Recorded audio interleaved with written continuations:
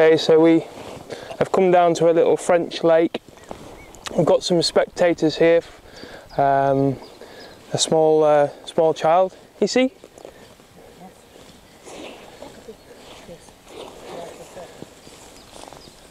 He's come to touch the first ever carp. Here he goes, touching it.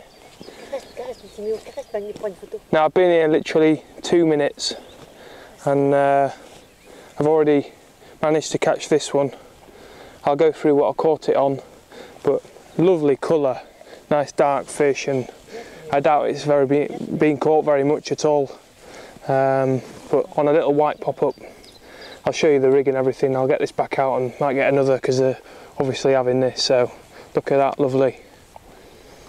So I've come down to a little lake that I know of that holds some carp, probably into the low 30s.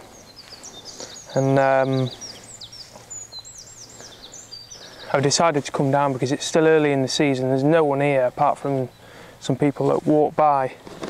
Um, and uh, yeah, decided to give it a shot. So I've just bought a little ticket that lasts me the uh, the week, which should do me fine. Um,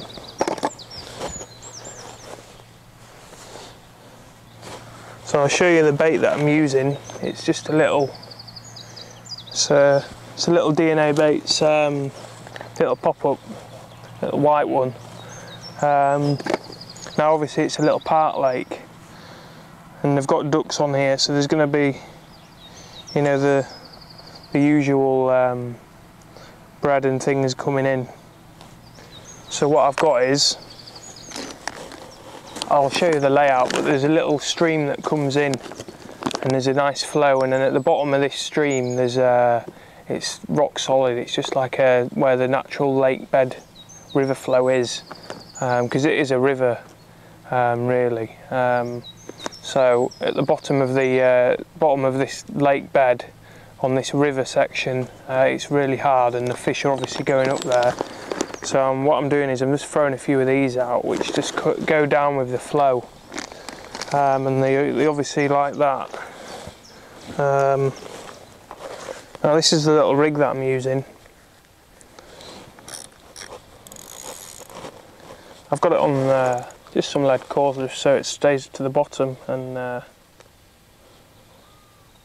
little chod rig because I don't know exactly what's on the bottom. I've already brought a little bit of stuff in on the rod that I've just moved. Um, so I've got a fang twister hook on there, um, but what I've got is you can see like a little boom section just there. If I bring that a bit closer you can see um,